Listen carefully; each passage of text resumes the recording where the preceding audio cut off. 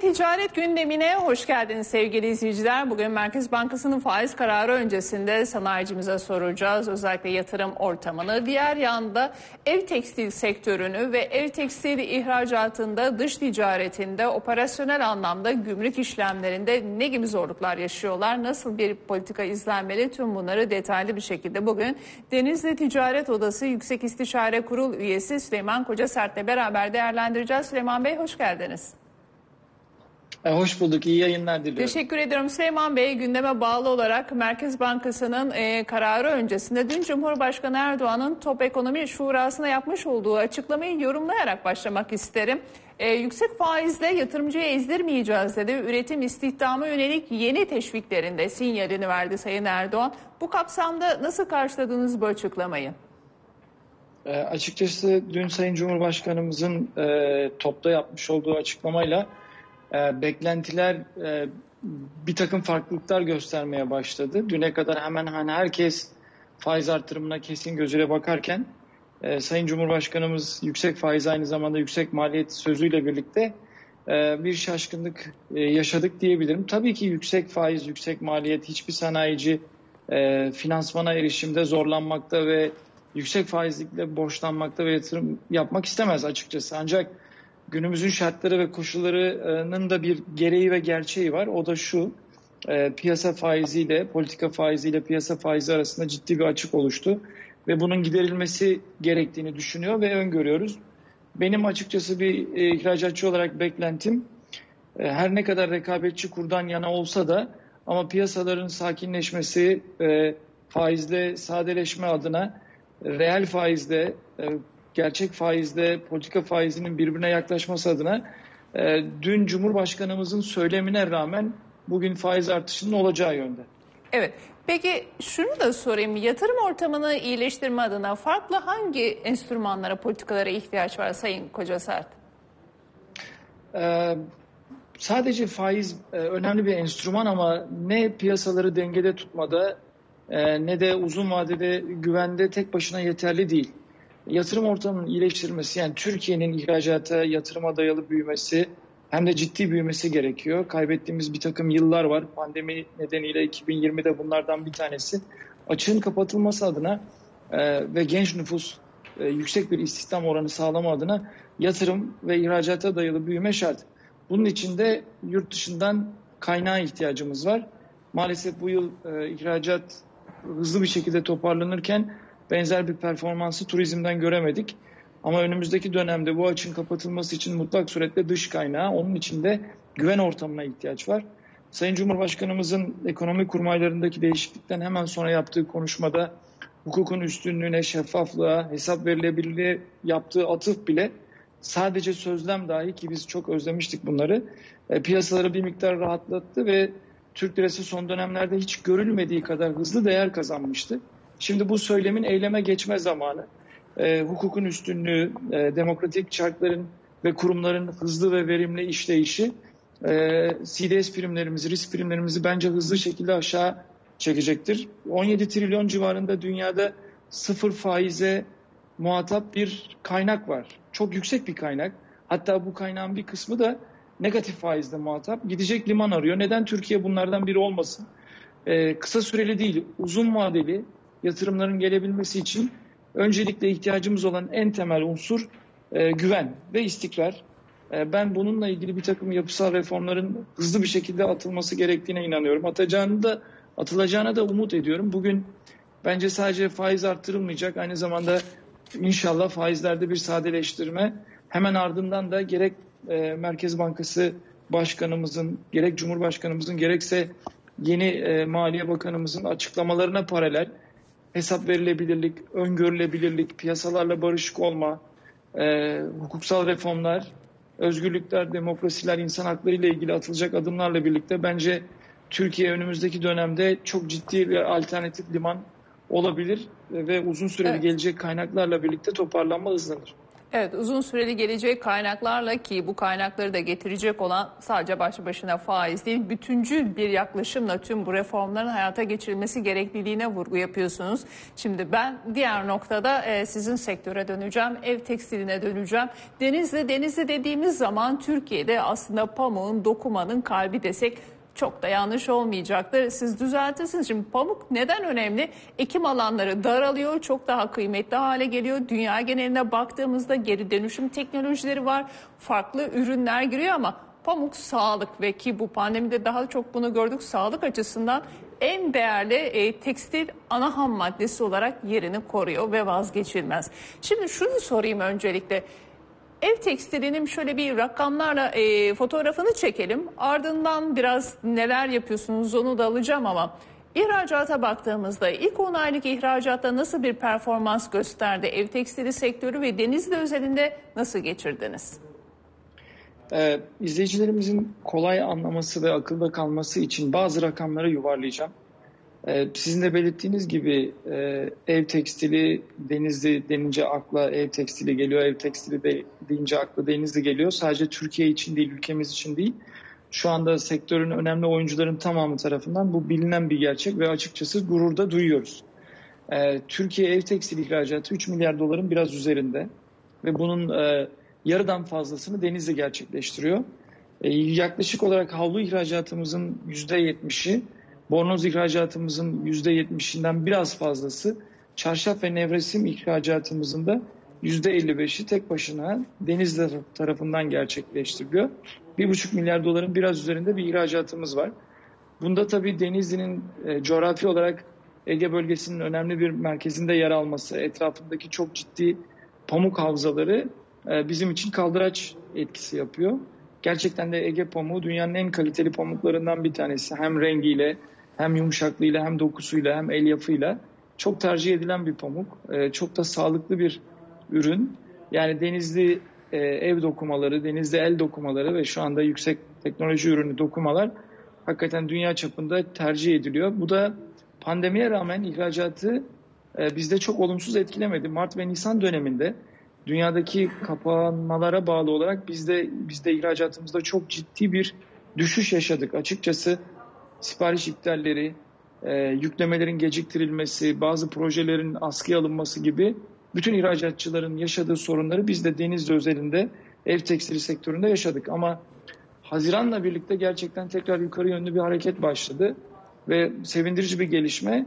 E, Cumhuriyet tarihinin e, en yüksek ihracatını gerçekleştirdi Denizli. E, 350 milyon dolara yakın bir ihracatla geçen yılın aynı dönemine oranla %20 civarında bir artış gerçekleştirdi.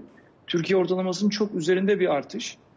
Geçen yılın aynı dönemiyle ilk 10 ayı kıyasladığımızda da Türkiye'de yaklaşık %10 civarında bir gerileme varken ev tekstili sektöründe bu gerileme %5'in altında ve yıl sonu itibariyle de ben e, kapanacağını düşünüyorum. Çünkü son 2 aylık verilerinde e, çok kötü gelmeyeceğine inanıyorum. Sadece şöyle bir virgül koymakta yarar var son iki haftadan beri Avrupa'nın birçok ülkesinin tekrar çok ciddi tedbirler alması, kapanmaların, kısıtlamaların tekrar başlaması yine bir takım projelerin ve siparişlerin askıya alınmasını gündeme getirdi.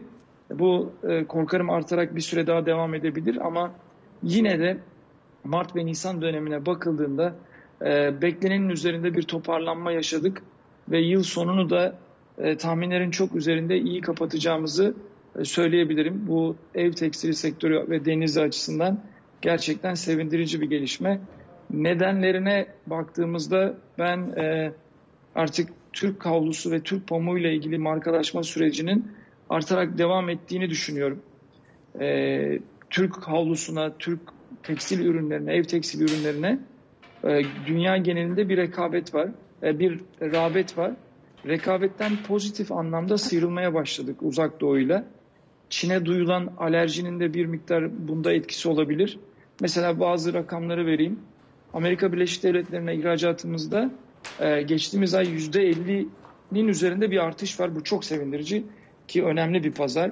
Yine aynı şekilde İngiltere, e, Hollanda e, pazarlarında %40'lara ve dünyadaki birçok pazarlarda iki haneli e, rakam artışlarında ihracat artışımız var.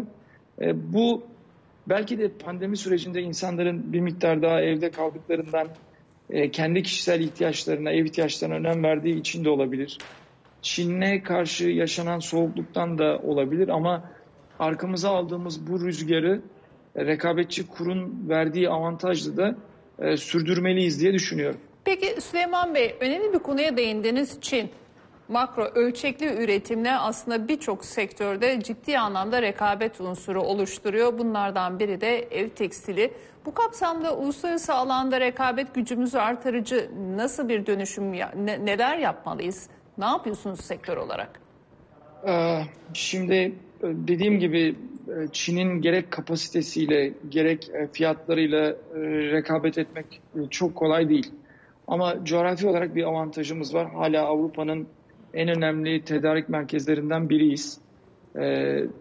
Kısa termin süreleri ve düşük adetli üretimimiz ve fast fashion dediğimiz hızlı moda geçişlerimizde kendimize bir avantaj sağlıyoruz. Ancak bu yeterli mi? Bana göre yeterli değil. Pek çok ARGE merkezi kuruldu. E, teknik tekstilde atılmış olan önemli adımlar var. E, Denizli Ticaret Odamızın yapmış olduğu çok önemli çalışmalar var. Türkiye'nin birçok üniversiteleriyle ortak. E, Uludağ, e, Bursa Ticaret ve Sanayi Odası ile ortak, Uludağ İhracatçı Birlikleriyle ortak geliştirdiğimiz projeler var. Teknik tekstil üzerine, nanoteknolojiler üzerine. Artık e, standart tekstilin üzerine bir takım katma değer koyarak e, tekstil, tekstil, teknik tekstilde e, atılım içerisindeyiz diyebilirim. E, yeni birçok firmamızda sadece ARGE merkezi değil aynı zamanda ciddi laboratuvarlar da kuruluyor, yatırımlar yapılıyor. Bunlar çok sevindirici gelişmeler. Bir diğer sevindirici gelişme de şu, e, markalaşma. Şu anda önceden dünyanın çok önemli bir fason merkeziydik. Pek çok firmamız ne mutlu ki artık kendi koleksiyonlarını kendileri yapıyorlar. Kendi bünyelerinde çok ciddi tasarım merkezleri var. Ee, İspanya, İngiltere, Fransa gibi ülkelerle yakın ilişkiyle yılın renkleri, trendleri takip ediliyor. Ve hatta zaman zaman bazı dönemlerde trendsetter e, Türkiye haline geliyor. E, bunlar e, sevindirici ve geleceğe dair ümit verici gelişmeler. Turkish Cotton, Turkish Towel yani Türk pamuğu ve Türk havlusu ile ilgili de Deniz İhracatçılar Birliği'mizin çok önemli çalışmaları oldu. E, gerek belki izleyicilerimiz hatırlayacaktır. Birkaç yıl önce Final Four'da Avrupa Basketbol Şampiyonası'nda Euroleague'de İstanbul'da gerçekleştirilen organizasyonda takımlarımızın finale kalan takımlarımızın tamamında Türk havlusu kullanıldı ve çok ciddi milyarın üzerinde insana ulaşıldı. Yine tenis alanındaki havlu sanılanın aksine sadece yüzmede değil basketbol ve tenis sporlarında çok ciddi kullanılır. E, o ve sosyal medyada da bir hayli yer aldık. E, bunun da meyvelerini topluyoruz. Bu Amerika evet. Birleşik Devletleri'nde yaşanan ciddi artışın ardında oralarda gerçekleştirildiğimiz markalaşma, markalaşma çalışmalarımız var. Evet, e, ben kendimden de birim. Özellikle Wimbledon tenis turnuvalarında izleyicisiyimdir. Türk havlusu kullanılır. E, Denizli markası da önemli. Yani markalaşma evet. açısından milyarlarca insanların seyrettiği bir etkinlikte Türk markasının kullanılması da hakikaten bir başarı unsuru. Şunu da sorayım. Özellikle dış ticaret anlamında yüksek montanlı bir e, ihracata e, imza atıyorsunuz. Dolayısıyla operasyonel anlamda Gümrüklerde ne yönde sıkıntı yaşıyor musunuz? Gümrük işlemlerinde kolaylaştırılması yönünde neler yapılmalı ve ihracatçı açısından dış ticaret mevzuatları nasıl sadeleştirilmeli?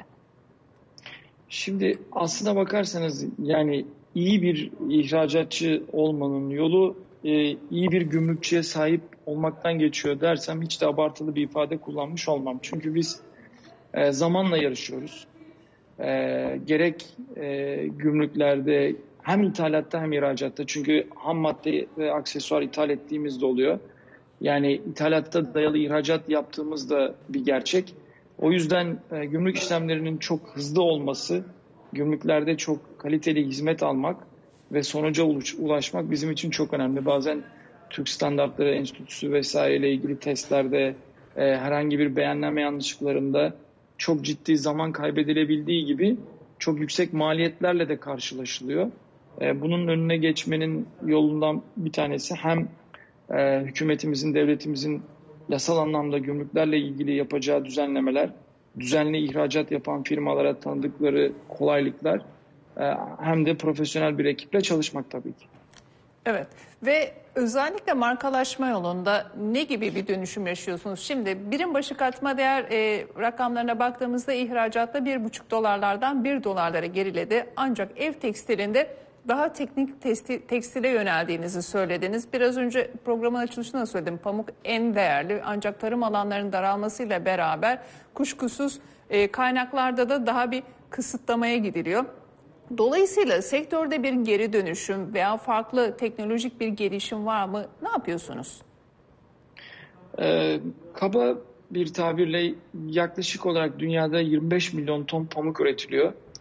E, ve bu üretilen pamuğun tamamı da tüketiliyor. Aslına bakarsanız dünya nüfusunun şu anda e, tekstil ihtiyacının karşılanabilmesi için yani aklınıza gelebilecek her türlü tekstil ihtiyacını kast, kastediyorum. Perdeden halıya, e, dış giyimden iç giyime, ev tekstilinden çarşaf nevresime, e, brandalara kadar 200 milyon tonun üzerinde. Yani e, gerçekten doğal elyafa e, çok ihtiyaç var. Ama doğal elyaf ihtiyacın karşılanmasından çok uzak. E, bu durumda da tabii ne ön plana çıkıyor? E, geri dönüşüm. Yani kaynakların tekrar kullanılabilmesi. E, sanıyorum bütün ünlü markaların hatta fabrikalarımızın hemen hemen tamamının ajandasında artık geri dönüşüme dayalı üretim var. E, bununla ilgili e, bir takım çalışmalarda bulunuyoruz. E, yurt dışı ile ortak projelerimiz var. Özellikle 2021 yılında İnşallah e, kamuoyuyla da paylaşırız. E, tekstil atıklarının toplanıp değerlendirilip tekrar ekonomiye kazanılması ile ilgili inşallah denizden güzel haberler gelecek. Öyle ümit ediyoruz. E, mekanik anlamda geri dönüşüm, recycle bir süreden beri başarılı bir şekilde yapılıyor. Ancak e, kimyasal anlamda da geri dönüşümün hayata geçmesi gerekiyor. Şöyle ki yani sadece örnek veriyorum e, Hollanda'da 250 bin ton tekstil atığı çıkıyor yılda ve bunun da 150 bin tonu yakılarak imha ediliyor. E, karbon salınımını düşünün, çevreye olan zararını düşünün, e, tarım alanlarının sınırlı olması, e, su tüketiminin e, her geçen gün artması, nüfusun artması, e, geri dönüşüm ve çevreye olan duyarlılıkla ilgili hassasiyeti çok arttırdı. Biz de Denizli iş dünyası olarak, tekstil camiası olarak e, bu konuyla ilgili gelişmeleri yakından takip ediyor. Hatta tam içinde ortasında da yer alıyoruz. Umarım tekstil atıklarının e, ayrıştırılarak kimyasal yöntemlerle tekrar ekonomiye kazandırılması ve gelecek nesillere daha temiz bir dünya bırakılması ile ilgili inşallah önce e, denizden ülkemize sonra da dünyaya güzel haberler duyacağız. Peki şunu da sorayım. Bu pandemi döneminde tüketicilerin satın alma trendlerinde bir değişim gözlemlediniz mi Süleyman Bey? Ev tekstilinde özellikle. Yani pandemi, pandemi hayatımızda çok şey değiştirdi. Bunların bir kısmı olumsuz olurken bir kısmı da olumlu oldu. Bu gerçeği de görüp kabullenmemiz lazım. Örneğin seyahat edilmeden yaşanabileceğini, bazı toplantıların e, dijital ortamda gerçekleştirebileceğini gördük. E, belki de gördüğümüz şeylerden bir tanesi birçoğumuz için evlerimizin aslında otel olmadığı, sadece uyumak için ya da yemek yemek için kullanılmadığı bir yaşam alanı olduğu, aileyle geçirilen vaktin ne kadar kıymetli olduğu vesaire. Şimdi henüz o konulara girmeyeceğim ama tüketim alışkanlıkları ile ilgili bizim gözlemlediğimiz ev tekstilinde insanlar artık evleriyle daha çok ilgileniyorlar. Evleriyle ve kendileriyle. Daha yalı, minimal bir yaşam tarzına doğru bir kayış var. Daha böyle İskandinav bir yapısı e, yapıya doğru gidildiğini söylenebilirim ülkemizde de. E, bu da insanların kendi kullandıkları havludan perdeye, paspastan bornoza pek çok eşyayı yenilemeye başladıklarını da söyleyebilirim. E, bu da sektörümüzde yani e, Mart-Nisan aylarında yaşanan krizden Mayıs'la beraber hızlı çıkılması, ihracatın artmasında artık dünyada insanların kendilerine ve evlerine daha çok zaman ve kaynak ayırdığı gerçeği e, var diyebiliriz. Ve sanki bu trend bir süre daha devam edecek gibi görünüyor. Çünkü sanıyorum pandemiyle birlikte insanlar evleriyle daha çok barıştılar. Evet çok teşekkür ediyorum e, değerlendirmelerinizden dolayı hem Türk tekstili, ev tekstilini hem de bu anlamda dış ticaret verilerini bizlerle paylaştı. Denizli Ticaret Odası Yüksek İstişare Kurulu üyesi Süleyman Koca Sert'i de uğurlayarak bir gündem ve ticaret gündemin daha, gümrük ve ticaret gündemin daha bugünlük burada noktalıyorum. Saat 17'de yeniden sizlerle birlikte oluncaya dek hoşçakalın.